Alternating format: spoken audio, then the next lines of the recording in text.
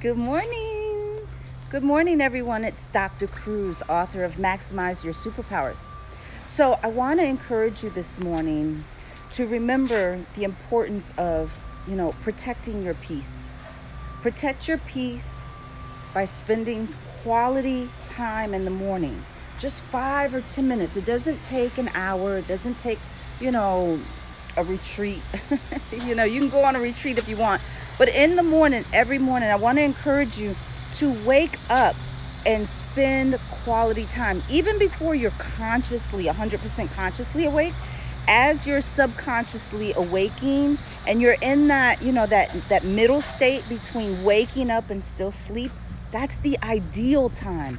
That's the ideal time to spend a moment, to spend a moment in spiritual reflection and visualization for your future, for the day that's going to approach you or that you're going to approach. It's really, really critical that you protect your peace. Because as soon as you get up, you become vulnerable to energy and people and events, things that you can't control. But the one thing that you truly, truly can control is your your inner peace, protecting your peace. That's what you can control. But it's got to start. Listen to me. Listen to me very carefully. It has got to start before you get out of that bed.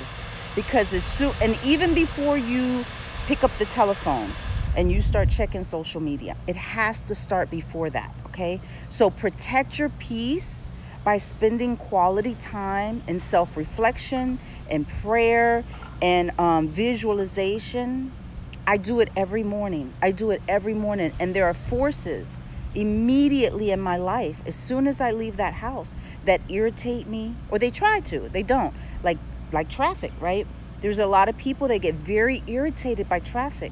And you got to be awakened, right? You got to be awakened to what's actually happening, right? So you got to be awakened to the fact that Listen, I need to be alert. I need to be here. I need to be centered. You have to get centered because if you're not centered, then you haven't done the work, right? You haven't spent that quality time in self reflection and prayer and spiritual growth before you wake up, before you get out of bed.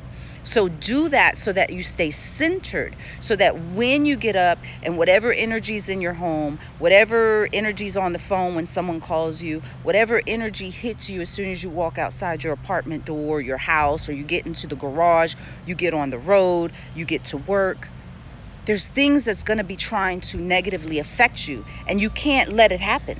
You cannot let it happen. And the way you don't do it from a place of willpower. That's not how you protect your peace. You don't protect your peace from willpower. You protect your peace from spiritual power. Okay? This is very, very critical to you pursuing the life that you want to live. Just a peaceful, ordinary life.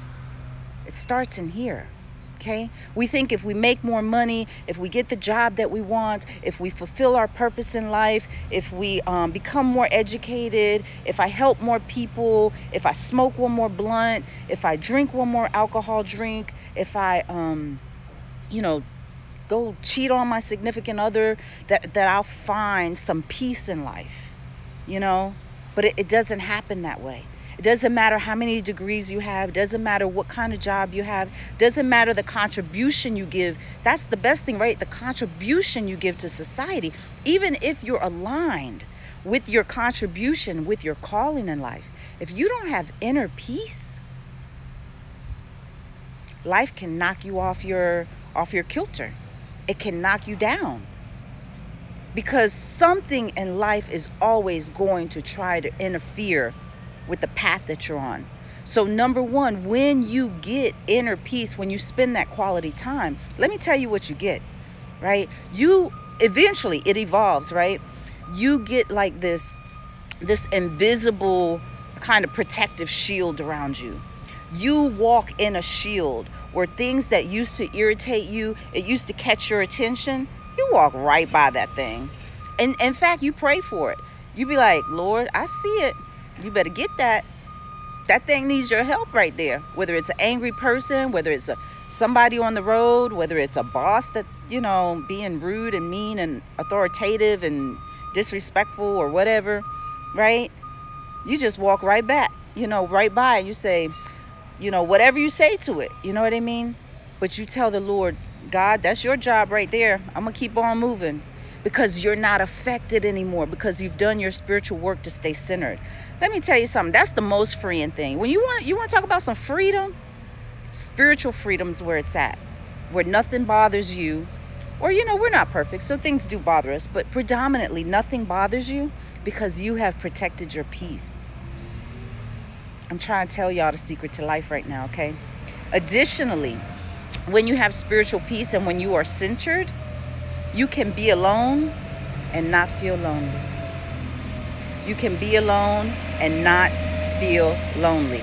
Let me tell you something. When you can be alone in life with just you and your spirit and not feel lonely, you know you've won. That's the secret to life. Everything else is additional. Everything else is cake. The key is can I sit with myself and be alone, not have friends, not have family, be confused about my vision in life, be trying to do something bigger, better, and even at my worst, in the midst of all my problems, in the midst of my confusion, in the midst of my desperation, in the midst of everything going on, even in the midst of my loneliness, can I surrender that loneliness to my higher power and learn to be okay with being by myself?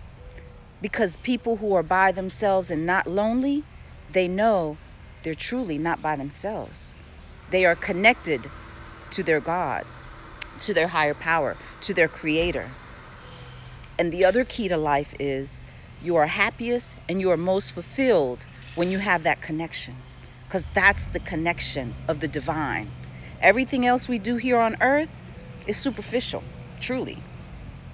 If it doesn't come from that connection, it's superficial.